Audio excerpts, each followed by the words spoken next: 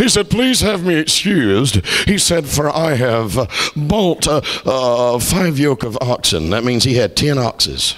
I bought me five yoke of oxen and I must go prove them. Let me go, let me go test them out.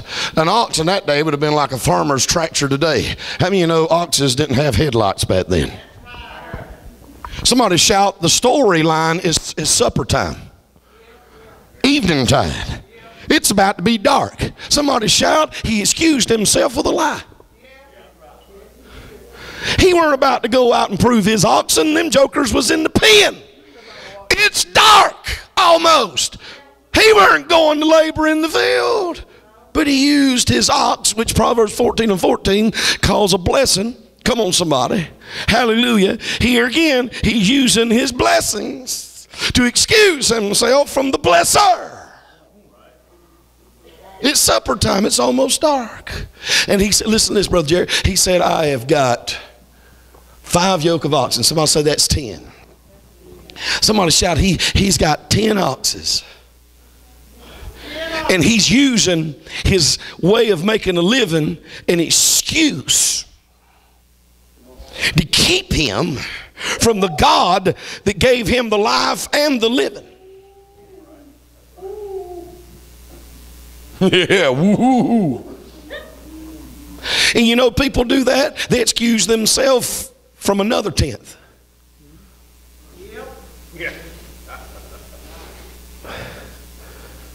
Hello, anybody breathe? Man, I heard the Holy Ghost today when I was studying this. Somebody say 10 yoke of oxen. The Bible said in 1 Timothy chapter 5 verse 17 and 18, God says, those elders that lead you well, they are worthy of double honor, especially if they labor among you in word. Come on somebody. Somebody say in word uh, and in doctrine. Ain't that amazing? They labor in the word. Somebody shout, their work is to preach the word. Their labor is to teach the doctrine, the word of God that's sound. Come on somebody. Second Timothy chapter 4 and 5 said, Do the work of an evangelist. Come on, make full proof of thy ministry. Ain't that amazing? Work in ministry in the same sentence. Somebody said to me the other day out in the heat of the sun while I was standing there, amen, sweating. It don't matter where I'm at, I sweat. Oh, it don't make no difference, especially when I preach. Come on, somebody. I sweat. Hallelujah. And some guy walked up to me and he said, Preacher, you ain't used to the heat, are you?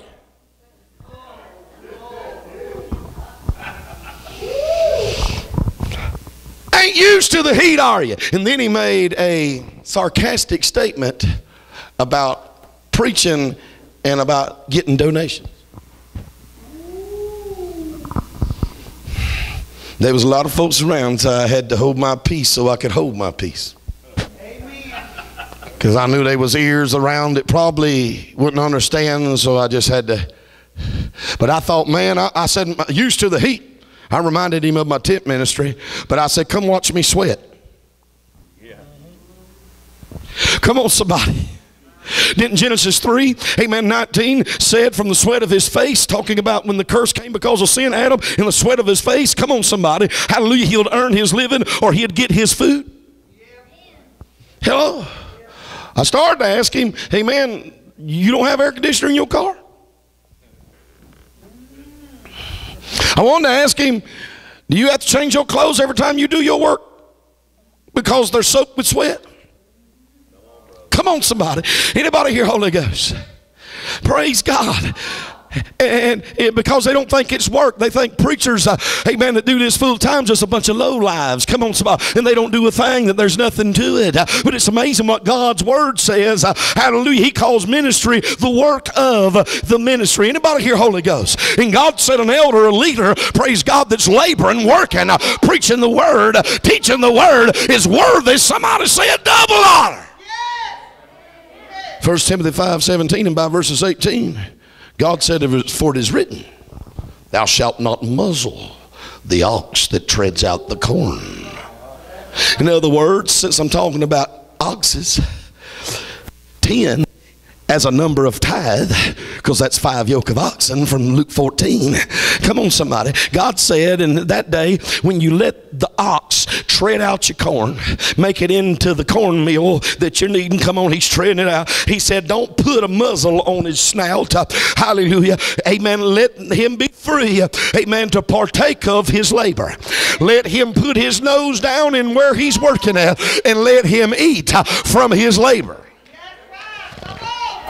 Because he said, the laborer is worthy of his reward.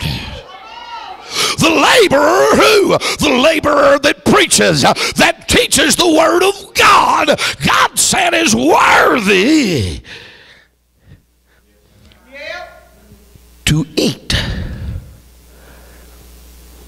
from his labor in the word. Last time I checked, it takes money to eat. Hello, somebody. But you know what's happening? A lot of preachers today in modern Pentecostal churches are degraded and despised and made lower than that of an ox. Even an ox eats better than some preachers do. And some churches wonder why God can't move. Because if you don't take care of him that brings you the spiritual meat, come on, somebody. God says, I'll hold back the windows of heaven. Come on, somebody. I will not send. Anybody hear, Holy Ghost? Hmm.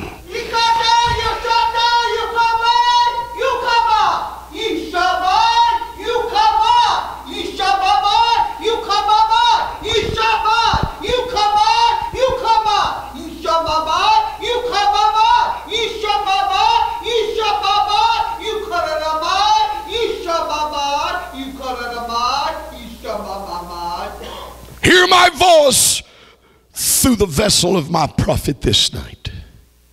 Have not you heard me say that my move will require a cost?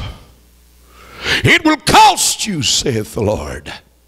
But remember, it is I that blessed you, and it is I who have a mind to bless thee with more. But I say unto you, it is I who gives the seed to the sower, that in turn I might give bread to the eater. And I say to you this night, when I have in mind to bless you with more, I will always tell you to give sacrificially and do something that's not convenient, says the Spirit of the Lord.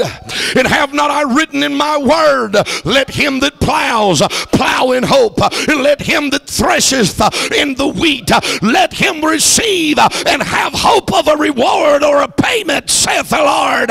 And behold, I say unto you, have not I said, let him that preaches the gospel live or make his living of the gospel? Did not I say, remember them that have rule over you and honor them doubly? For you have heard me say double portion through my prophet this night. And I say unto you, if I expected my people to let the ox tread out the corn in hope of receiving his reward, how much more do I expect the laborer who preaches my word to labor in that word of hope of receiving a payment. For it is not wrong to take care of him or her that I have anointed and called to be over you as a ruler. For it not I say in my word that is written, my Apostle Paul says, If we have sown unto you in spiritual things, is it a great thing that we should reap your carnal things? I say unto my people this night, do never allow your heart to deceive you and excuse yourself because of the oxen I have given you, the blessings I have given you. Never use the blessing as an excuse to disobey me, or the blessing will become a curse. And this night, I, the Lord, say unto my sheep, as your good shepherd who lays his life down for his sheep. For I have brought in your midst not a hireling. He will preach whether he gets enough or not. But I have sent him and his wife, I have sent him and his family to this place. And I say unto my sheep tonight, the shepherd that I have placed over you, I command a gift.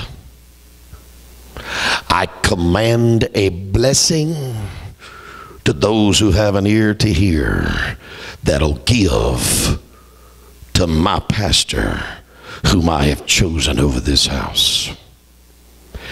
Give to him either this night or either let it be between now and this coming Sunday.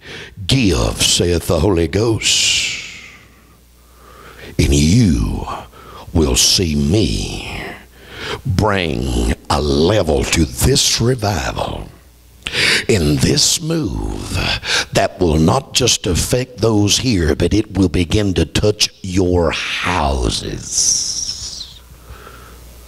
Give to him whom I have called pastor. Give to him and watch me command a blessing on your house, says the Spirit of truth. I don't know what the offering was tonight to my ministry, but it ain't to go to me. Holy Ghost said it goes to the pastor. Did y'all just hear Holy Ghost? I have never interpreted a tongue and released a prophecy ever in all my ministry in 25, almost 25 years, like what just come out of my mouth. And while I was prophesying by the Spirit of God, not knowing what my next words would be, the Lord the whole time told me the night's offering is not yours. Some says, oh, you're just doing that because what happened last night. You keep believing that if you want to. If you don't hear God in my voice, play it off. Come on, somebody. Somebody shout, let it cost you something. I don't know why. I ain't asked Brother Jerry. Brother Jerry ain't said nothing to me. Hello? But Holy Ghost just spoke. Somebody say, Holy Ghost just spoke. Well, Brother Marvin, you don't know what I got need of. No, I don't, but God does. And He just said He gives seed to the sower. So look at your neighbor say, Don't eat your seed, sow it. Somebody shout, Don't eat your seed, sow it. Somebody shout, Your seed is not enough. Yeah, if it's not enough, sow it. Give it to God when God says to give it, when the ground's plowed up. And watch Him bring a harvest. Hello? And if you are robbing God of a tithe, you're kind of like the Luke 14 excuser. I got five yoke oxen. Come on, somebody. I got ten oxen. Man, if you can't trust God with the dime out of your dollar, you don't believe what's on your paper money in God we trust. And a tithe is a devoted thing. Somebody shout, that's the first thing. It ain't the second thing, it ain't the third thing, it ain't the fourth thing. That means you give to Jesus before you pay bill. And if you'll give to Jesus, I promise you, he'll make a way for Bill to get paid. Lady told me one time, she said, But Brother Marvin, I'm on a fixed income. And my preacher told me God understood. And I said, Your preacher lied to you. I said, You want your income unfixed? That's right. And some will say that's harsh. You shouldn't tell a, a elderly person like that on a fixed income. I didn't read nowhere in the Bible that people were excused. Yeah. Gave all she had. Jesus said she gave more than everybody because she gave out of her need. Oh! She knew. I call it the widow's M I G H T, might. Not just a M I T E. Mm. Praise God. Hallelujah. Somebody say the first. In Luke 14, they excuse them. I'm still talking about more of God. I'm still talking about receiving the more of God. I'm still talking about how the church today is coming behind in what God's wanting to do. He's wanting to do so much more. Hallelujah. But they want to stay on this side of Jordan where it's easy, where it's comfortable. And God's trying to get somebody to leave the shady groves uh, of comfort uh, and cross over. Yeah, I know it's going to kill something. You feel like you're losing. But it's called faith in God. And faith in God requires a death. You got to leave Gilgal and you got to get grounded at Bethel because Bethel's the house of God. Second Kings chapter 2. And that's where Elisha had to follow Elijah to. Come on, somebody. Somebody shout, if you're going to see a double portion, you got to get grounded. Uh, hallelujah, in the house of God. Uh, because Psalms 92 and 15 uh, said, Blessed, amen, are those who are planted in the house of the Lord because they're going to flourish in the courts courts of our God. Courts of God means His presence. somebody shout, You can't flourish in the move of his presence. You can't have more. That's what flourish means. If you don't get rooted, planted in the house of God. Haggai, whose name in Hebrew means festival. He's a prophet of God. And in verse 4 through 7, he said, How is it? It is time to build God's house and ye, oh ye, are in your own ceiled house. That means your private homes. It's time to be at God's house, but you always at your private house. He said that's why you sow much and bring in little. He said that's why you eat ye and you ain't filled. That's why you drink and you can't get your thirst quenched. Come on, somebody. That's why you earn wages and put it in bags with holes only to lose. He said, Consider your ways, saith the Lord. And then he says, Even the dew of the heaven is stayed from over you. That's the move of God. Don't tell me, come on now, you can't buy a miracle. Come on, somebody. But but but but you got to understand a tithe is a dead owed, and, and, and an offering is a seed sowed. You hadn't given God an offering until you've been faithful in the tithe. You ain't giving no tithe to God, that's His. If you ain't giving it, you robbing Him. You're a thief. Hmm, a thief on the same category, in the same category as the devil.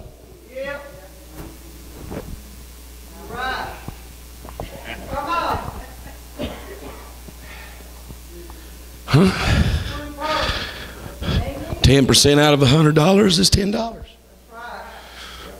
A lot of people don't have no problem on that level, but when God starts blessing them more. Because the more the blessing, the more the tithe. And I've seen some people just block the blessing. Because they could give on that lower level. Hello? It's a heart issue. It's a spiritual issue. Somebody shout, it's supposed to cost you. Could it be the experience of God's presence that you've prayed for can't happen in your life because you're disobedient in this area I'm talking about.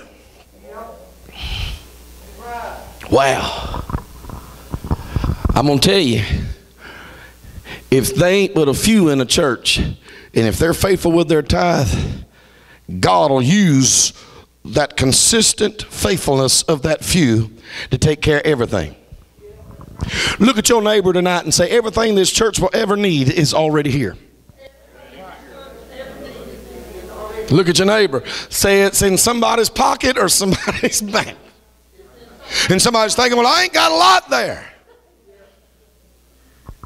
I'm talking about the tithe. I ain't talking about the extra. The tithe. If everybody, even the few, because it's been said only 2% about every church, come on somebody, is actually who give in the tithe. Just think if 100%. I know a little church right now. I'm talking about a little church. Probably every Sunday they ain't got, they may have 25 on a good Sunday. This church supports me monthly every month. And I'm talking about they don't give just some little thing.